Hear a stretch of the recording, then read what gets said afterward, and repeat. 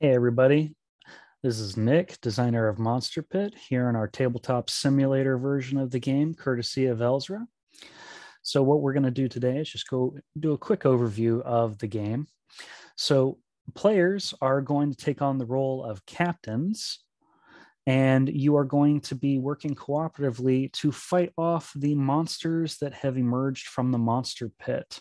You're going to do this over the course of a round. A round consists of the morning phase, midday phase, twilight phase, and daybreak phase. During the morning phase, captains are going to roll dice. And this is going to indicate off of these captain results whether or not they earn gold.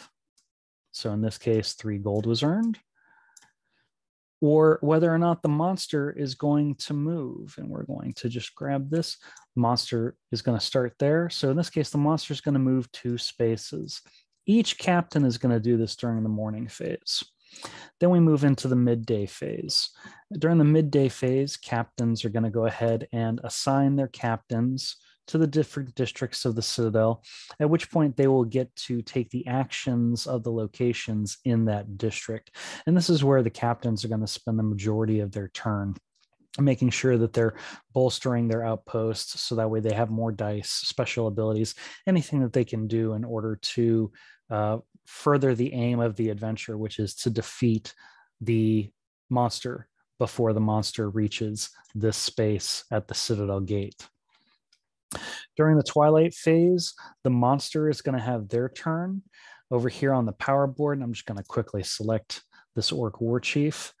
Uh, the Orc War Chief is going to take two yellow dice and one white die at the beginning of the game, as the power board now is indicating since we selected them.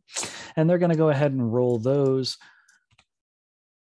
And in this case, they got one monster result. So we would look at the board and we would say one result we're going to carry out these actions from left to right. In this case, the Citadel raids. So they're going to attack the Citadel. They're going to attack the lead captain. And then they're going to play a card from the monster deck and see what happens from that.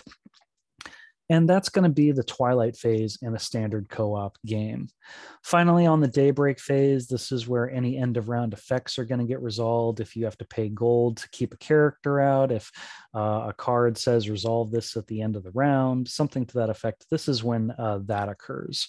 And the uh, daybreak phase ends if you're playing with the encounter cards as a module, this is an optional uh, module, then at the end of that, you would draw an encounter card reveal it, and you would carry it out. And this could be anything from such as this a creature is coming into play and we're going to be putting creature tokens out into the citadel that we have to deal with in addition to the monster.